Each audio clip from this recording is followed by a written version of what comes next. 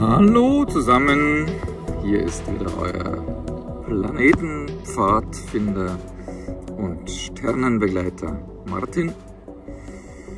Ich möchte mich mit euch heute ein wenig austauschen über das Phänomen der Rückläufigkeit, welches sehr gerne etwas missverständlich diskutiert wird oder laienhaft missverständlich aufgefasst wird. Vor allen Dingen der rückläufige Merkur, der macht so einigen Leuten geradezu Angst.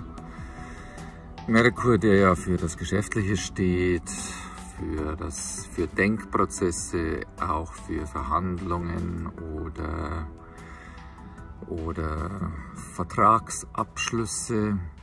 Der wird dann gerne so apostrophiert, dass das alles nicht funktionieren kann, dass das alles durcheinander läuft, dass technische Geräte nicht mehr funktionieren sollten etc.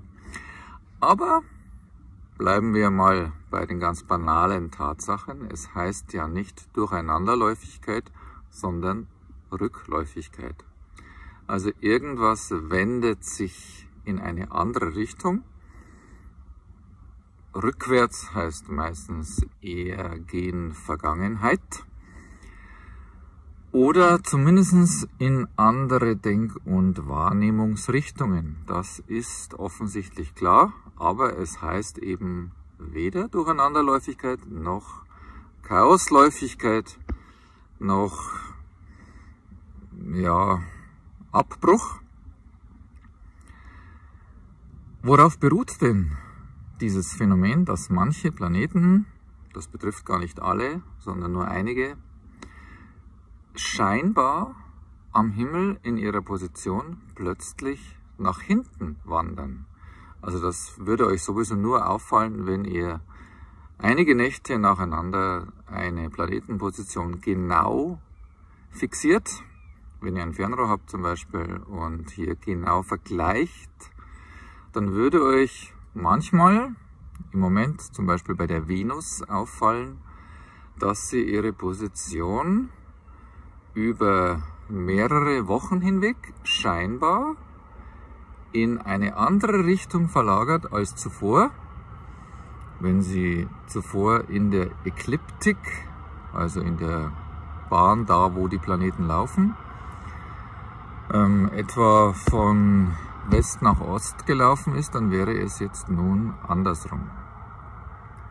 In Realität drehen Planeten logischerweise nicht um, aber Astrologen betrachten den Kosmos von der Erde aus, geozentrisch, obwohl sie wissen, dass die Sonne im Zentrum des Sonnensystems steht.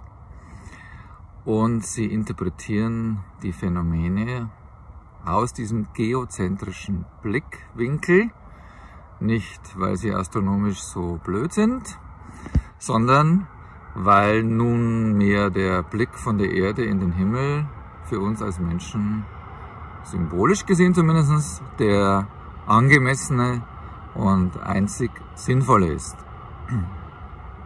Wenn wir Konstellationen am Himmel deuten wollen. Wie entsteht diese Rückläufigkeit? Genau astronomisch kann ich es euch nicht erklären. Ähm, es ist auch zu komplex. Aber ganz banal erklärt ist es so, wie wenn ihr schon mal in einem Zug gesessen seid und neben euch ist ein zweiter Zug angefahren. Und wenn die verschieden schnell fahren, plötzlich entsteht ein Moment, wo man sich nicht sicher ist, äh, fährt eigentlich der Zug neben mir plötzlich rückwärts oder Wer fährt hier vorwärts, wer fährt hier rückwärts? Es entsteht eine gewisse Verwirrung dadurch, dass sich zwei Richtungen und zwei verschiedene Tempi gegenseitig überschneiden. Oder ein ähnliches Phänomen habt ihr sicher schon oft gesehen, dass man das Gefühl hat, Räder bei einem Auto drehen sich nach hinten, obwohl das Auto nach vorne fährt. Das gleiche Phänomen, aber natürlich wesentlich langsamer, entsteht durch die komplexe Überschneidung von elliptischen Planetenbahnen, wo die Planeten eben auch unterschiedlich schnell unterwegs sind und von der Erde aus betrachtet entstehen dann diese optischen Täuschungsphänomene. Ja, zurzeit, wie gesagt, ist die Venus in Löwe, die fast am Ende von Löwe angelangt war, rückläufig und geht eben ein zweites Mal durch das Löwefeld und dann wird sie Ende September wieder drehen in die Direktläufigkeit und wird noch einmal das Löwefeld zum dritten Mal, nicht ganz, aber zum Teil durchlaufen, so dass Venus jetzt dann viel länger im Sternzeichen Löwe sich befindet. Ja, so einfach kann Astrologie auch sein. Damit haben wir nämlich schon die erste Grundbedeutung einer Rückläufigkeit eines Planeten, nämlich die Wirkung verlängert sich, die Wirkung intensiviert sich dadurch. Das ist doch klar, dass wenn eine Energie, wie in dem Fall jetzt Löwe, nicht nur, wie es bei der Venus normalerweise ist, drei bis vier Wochen ausgelöst wird, sondern gleich drei Monate. Das heißt, wir sind über dreimal so lange mit dieser Energie konfrontiert und das ist im Moment eben die kreative, herzöffnende, aber durchaus auch machtvolle weibliche Energie. Weibliche Power sollten wir etwas mehr lernen dürfen, auch wir Männer, das schadet uns genauso wenig. Und das Entfalten unserer Kreativität durchaus auch mit Hilfe unserer Beziehungen oder auch im Rahmen unserer Beziehungen, was die Venus eben gerne tut. Die Venus arbeitet selten gerne allein, sondern möchte im Kontakte knüpfen, dann diese Energie umsetzen. Und das ist in Löwe natürlich eine feurige Energie, eine dramatische Energie, eine, auch eine Spaß und Lust und erotische Energie. All das haben wir jetzt dreimal so lange zur Verfügung wie sonst in diesem Wechsel Direktläufigkeit, Rückläufigkeit, Direktläufigkeit, ein Hin und Her. Und die mittlere Phase, also die Rückläufigkeit der Venus in Löwe, oder das kann genauso den Merkur betreffen oder alle zwei Jahre auch den Mars betreffen, und das betrifft dann alle Planeten, die auch noch weiter weg sind von der Erde, Jupiter, Saturn, Uranus, Neptun, Pluto, Chiron, alle die können rückläufig werden. Nur nicht Sonne und Mond. Ja, das betrifft dann eben einerseits diese verlängerte und intensivierte Energie und zum Zweiten betrifft es aber auch eine gewissermaßen nach Innenwendung. Und wenn ich meine Energien mehr in mein Innenleben hineinrichte, muss das noch lange nicht bedeuten, dass die Dinge jetzt alle schief gehen. Diese eher negative Interpretation von Rückläufigkeit kommt aus einem Blickwinkel einer westlichen Gesellschaft, die ständig schneller, weiter, höher, ständig voran will und der das Innehalten oder das Zurückblicken einfach schwer fällt. Aber das Zurückblicken ist genauso wichtig wie das Vorwärtsblicken. Und hinten ist nicht schlechter als vorne. Vergangenheit ist nicht unbedeutender als Zukunft, sondern beides wirkt zusammen. Die Rückläufigkeit führt uns also deutlich mehr in die Vergangenheit. Zum Beispiel Merkur rückläufig, wenn Dinge liegen geblieben sind, wenn ich die nicht aufgeräumt habe. Irgendwann wird der Zeitpunkt kommen, wo mir das auf die Füße fällt und wo ich durchaus dann aufgefordert bin, hier mal etwas mehr Klarheit zu schaffen. Das mag allerdings vielen Leuten unangenehm sein, und schon hat die Rückläufigkeit wieder einen negativen Touch-up bekommen. Oh Gott, plötzlich merke ich, da ist so viel Mist, der sich angesammelt hat. Muss das sein, dass ich jetzt hier aufräumen muss und so weiter. Aber hätte ich in der Vergangenheit die Dinge anders gehandelt, dann wäre die Rückläufigkeit jetzt durchaus entspannter. Dann hätte ich nämlich jetzt, und das würde die Rückläufigkeit genauso mit sich bringen, dann hätte ich jetzt die Chance, mich ganz in Ruhe hinzusetzen, nachzudenken, nachzuspüren, zu reflektieren, ja auch zu meditieren, also ein rückläufiger Merkur. Da fällt einem das Stillhalten, das Innehalten, die Tiefenentspannung viel leichter in solchen Phasen, als wenn jetzt alle Planeten vorwärts drängen, da ist mehr Umsetzungs-, Handlungstat, Energie da. Aber wie wir ja aus östlichen Philosophien und Weltanschauungen wissen, heißt das ruhigere, stillere, innerliche Tun keineswegs, dass nichts vorangeht.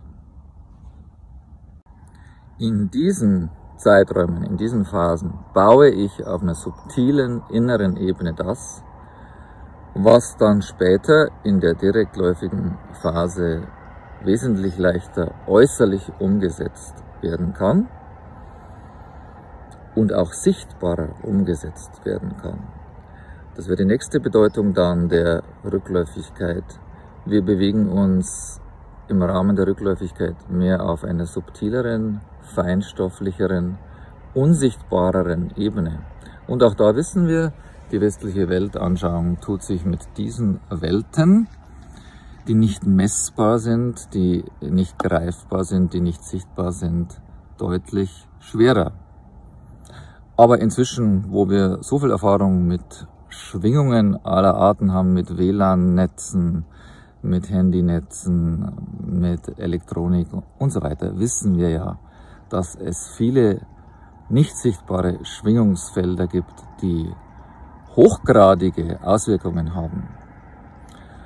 Und insofern sollten wir allmählich die Angst vor der Rückläufigkeit wirklich mal loslassen und sie eher als Chance begreifen, jetzt eine Wendung zu machen und zwar eine Wendung mehr ins Langsamere, ins Nachdenklichere, ins Innerlichere. Ja, noch spezieller, das wäre dann eine Hauptbedeutung von Rückläufigkeit, ist eben dann auch die Wendung hin zum Vergangenen und insofern hilft uns die Rückläufigkeit, Vergangenheit aufzuarbeiten. Also für jeden Menschen, der in einem Lösungsklärungs-, Aufarbeitungsprozess steckt, kommt die Rückläufigkeit geradezu wie ein Segen. Was also könnten wir dann mit der rückläufigen Venus in Löwe aufarbeiten. Nun, Venus hat vorwiegend mit Beziehung, aber auch mit Werten zu tun, auch mit Finanzfragen. Also wir könnten unsere Finanzen nach hinten mal betrachten und Dinge in Ordnung bringen, die da schiefgelaufen sind. Wir könnten unseren Selbstwert aufpolieren, indem wir uns ehrlich zugestehen, wo es Situationen früher gab, in denen uns das weniger gelungen ist. Wir können damit also eben eine gute Brücke in unsere eigene Vergangenheit schlagen und insbesondere vielleicht das Lieblingsthema der Venus. Wir können unsere Beziehungsmuster jetzt reflektieren, auch das ein Schlüsselbegriff der Rückläufigkeit. Und dann eben auch angehen, verändern und verbessern. Und die Veränderung beginnt ja immer auf der Ebene von Gedankenmustern, von inneren Überzeugungen, von grundsätzlichen Haltungen oder im Extremfall auch von traumatischen Verstrickungen und Bindungen.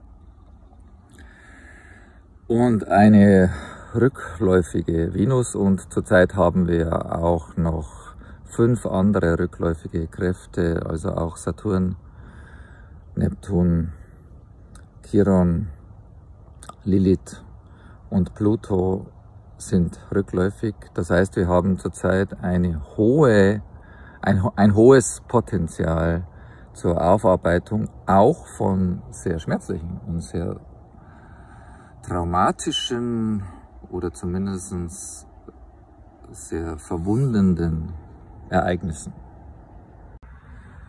Bis zum Herbstbeginn hält diese intensive Klärungs- und Aufarbeitungsphase noch an. Ich glaube, es gibt sogar eine oder zwei Wochen, wo dann sogar sieben Planetenkräfte rückläufig sind.